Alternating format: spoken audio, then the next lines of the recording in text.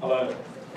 Three years ago, two of my friends approached me and said, we've been doing this consultancy for 20 years, looking into organisations and how they collaborate.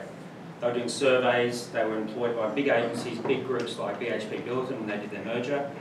Marius Clovis said, we don't want to get rid of the people who have the knowledge, we want to know who those people are. They did informal networking uh, in terms of mapping all the networks. They derived 30 measures of how you measure organisational behaviour around collaboration. So they made sure the most collaborative people were kept. So when they came to me, they said, we want to create a company that then looks on the data that uh, um, basically platforms in enterprises now, like Yammer, workplaces, uh, uh, Workplace by Facebook, uh, provide data so we can actually look into the organisations and see how they're collaborating. So we built that uh, in the first year. Uh, we sold it to four companies in the first year. We've got Qantas, we've got BHP, we've got a whole lot of different like major companies now on board.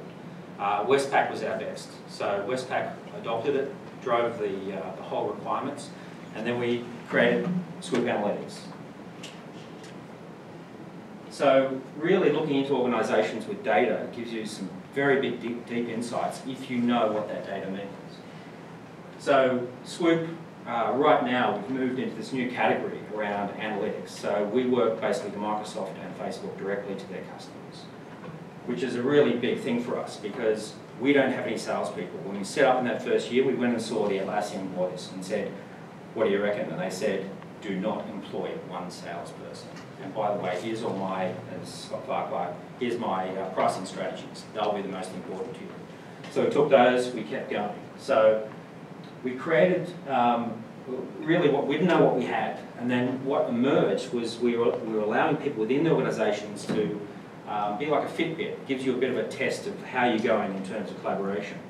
And uh, we, we actually um, discovered some, some amazing things, enterprise-wide um, metrics that give us, like I'll give you a deep insight. Um, why are conversations up 20% between HR and legal this month?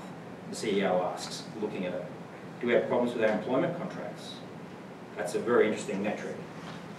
Um, so we look at group metrics. Uh, everyone has a dashboard. Now the thing about this kind of technology is when we're developing it, and, and with the founders, I, um, I said to them, there's a big ethical component, um, according to our first speaker, around how you how you manage this data inside organisations and how you let people access it. We didn't want anyone recriminating staff and people around our collaboration metric. So we went to the St James Ethics Centre and said, right, we want to build an ethical framework, and we sell that with the licenses to the organisations. They have to subscribe to that. So it's been very rewarding seeing this rolled out with that kind of privacy and, and consideration in, in, in place. What we found, looking at the data, was that there were five distinctive collaboration patterns, uh, personas, and very distinctive.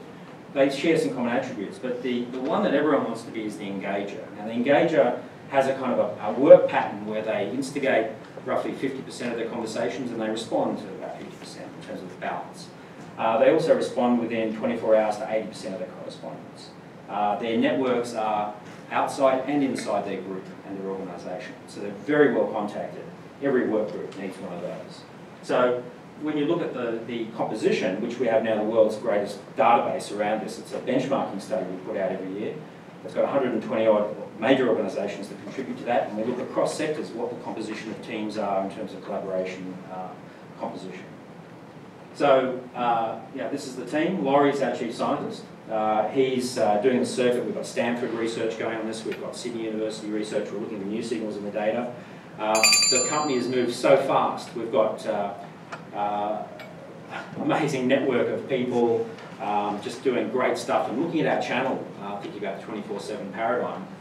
At any time of day, I can look through our Yammer channel for our Yammer customers and our Facebook Workplace channel for our Workplace customers. We're in their business. We can see the amount of volume of interest and interaction that's going on with our networks. And it's an ecosystem that just runs 24-7. It's a very rewarding thing to be involved with. It's such a fast company. We're making you know, millions of dollars. Um, in, you know, in the third year, it's pretty good for a software company. Uh, but the key is we're, we're agile.